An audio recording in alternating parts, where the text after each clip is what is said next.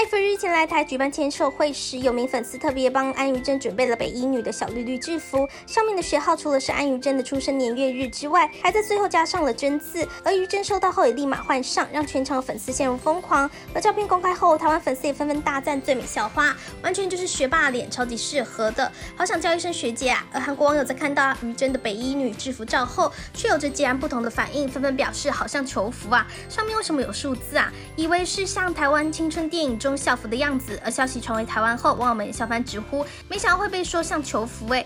但听过这个说法之后，好像有点回不去了。没办法，韩国的制服都太漂亮了，真的没有比较，没有伤害啊。